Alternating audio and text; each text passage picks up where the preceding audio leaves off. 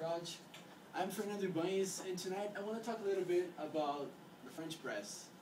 Uh, I'm going to try to teach you how to use it. It was a new method for me whenever I was employed by Starbucks about two years ago. Uh, I didn't know anything about it, and now I'm just hooked on it. So, but first, let's talk a little bit about coffee and its, and its perspectives. So according to the International Coffee Organization, cited by Larkin in 2010 and retrieved by me on 315-2010, uh, we serve about 1.4 million cups of coffee a day in the whole world. Uh, just the United States itself has 45% of, this, of, uh, this amount and serve about 400 million cups a day.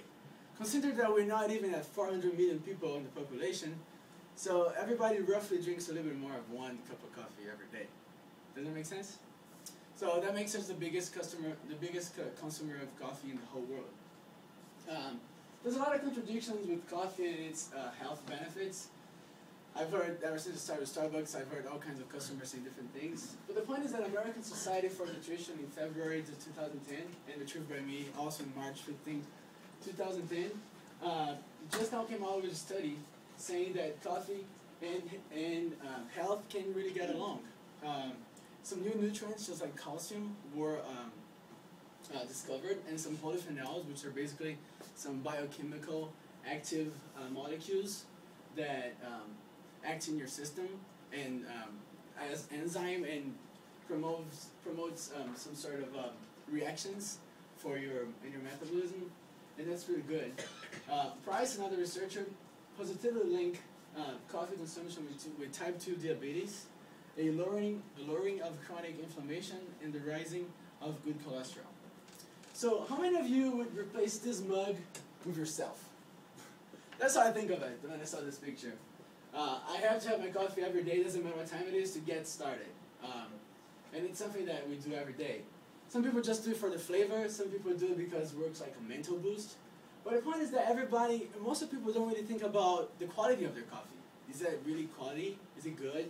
Uh, how, the, how practical it is, or time consuming. Maybe you're not, maybe just not gonna brew that cup of coffee because it's gonna take 10 minutes, 7 minutes. Or about the cost. If you pay $2 every day, in 30 days you're gonna spend 60 bucks at least. And, and those, you know, those morning trips that you have to go to Starbucks and get your cup of coffee. So tonight what I really wanted to focus is two things. That the French press is the easiest and the best way to brew coffee, that you only need two ingredients to French press. And the French press may also fit, fit your needs if you want some good quality coffee and you don't really have much time for it. So let's take a look at the French press. The French press is basically made of two parts. One is the cup. The cup can be made out of glass, metal, I mean anything. This one here is a new one have in the store now. It's made of uh, post-consumer plastic. And a the most interesting part, which is the lid, that also has a sliding plunge, uh, plunger that you use to brew your coffee.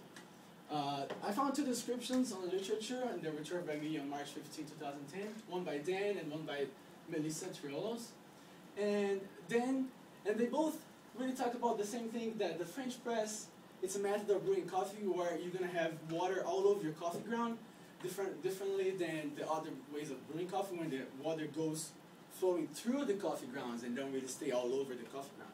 So if you're thinking at, the, at, uh, at a molecular level, you're going to have water all over it, so you're going to have more connection, you're going to have more uh, that, um, that um, transmission of flavor and molecules and everything. Uh, Melissa, so that's, that's what makes it simple. What makes it better? Melissa stressed the fact that um, you can keep, French press can keep the original oils coating the beans. And I'm going to show a picture later on. Beans actually have oils coating them. And if you didn't know, a cup of coffee has a, usually about five calories, and they usually come from these oils that they have. If you brew from French press, you gotta have a more robust and more intense brew. And that's why coffee connoisseurs usually go with a French press rather than any kinds of brew because that's the best way you can taste your coffee. You have more aroma, you have better taste, and you have the oils. That's how we in the store start uh, the tasting all the coffees whenever we have new coffees coming from different parts of the world. Um, another cool thing, and that Dan talked about it, it, is the strength that you can control the strength of your coffee just by usually adding more water or putting more grounds. You can just do it the way you want it. Is electricity free? I mean, of course, you're going to need something to warm up your water, but if you go out camp, you can just bring a little burner and you just have your coffee right there. And it's the best kind of coffee you can have. You know what I'm saying? It's not instant coffee. Keith uh, Bailey on uh, March 5th, 2010, uh, lay out a curious fact that in New Hampshire, they had this massive power outage last summer, I mean last winter, sorry. And a store was able to draw a lot of customer because uh, they were brewing French press, and everybody was amazed how we brewing coffee you don't have electricity. So now that you know the benefits and you know what is a French press, let's go ahead and see how we brew using the French press. So as you're getting your, your, your ingredients, you need to keep in mind the four uh, fundamentals of coffee brewing by Starbucks. Freshness, grind, proportion, and water. When you talk about freshness, look, this is a bean that it's freshly opened, about two hours before this, this photograph. And this one is been open for two months. Can you see the difference? You have oils, that those beans are shiny, they probably have way more flavor and more aroma. While you go to the other one, the one on your right, it probably doesn't have any aroma and no more oils left. So you need an opaque air container, room temperature. You, you need to have a coarse ground, a coarse ground for your coffee, otherwise you're not going to be able to plunge it down because it's going to be just too compact, so you want to have something that it's coarse ground. Uh, proportions, 2 tablespoons by 6 ounce of water if you like the metric system, six, 10 grams per 8, 100 milli, 180 milliliters.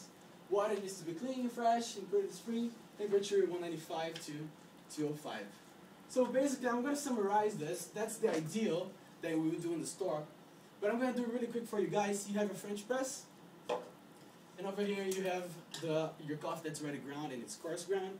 You just add it to the bottom, like this. That's how I do my coffee in the morning, usually before I come from Branson to here. Then you just add your water,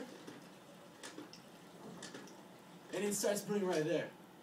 So what you want to do now is just stir really quick. Give it a nice stir. Finish it up with the water. All the way to the top.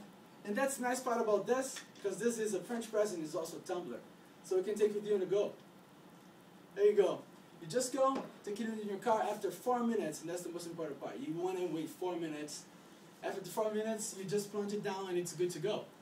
Um, so now that you know how to do it, that's why I think the French press might best fit your necessities, your necessities. Because you want some good quality coffee, you want something that's cheap, and it's something that it's easy for you to take it on the go. So that's my solution. You take one of these guys. It, runs about 15 to $25. You just add water and you're good to go. It's a press and a tumbler, and it's manufactured by Bodum. Uh, it, can, it can also be backpack friendly, that's what I like to call it, because you can have in a small sealed container, just like a cup of coffee like this. You can put your grounds in here and you can take it on the go. And if you're out of coffee in the middle of the day, you just go to any coffee house or restaurant and you ask for some hot water. You fill it up and you're good to go. You don't have to pay for anything. You have the best kind of coffee you can ever get. And you don't have to worry about, you know, how they're brewing the coffee, their quality. So, I hope you can understand why the French press is my favorite brewing method. Because one, it's a simple and it's a better way. Two, it only requires two ingredients for you in just a few minutes, and it's, a, it's perfect for drinkers that are always on the go. You can make it better and cheaper every day. Thank you. Thank you for Starbucks as well.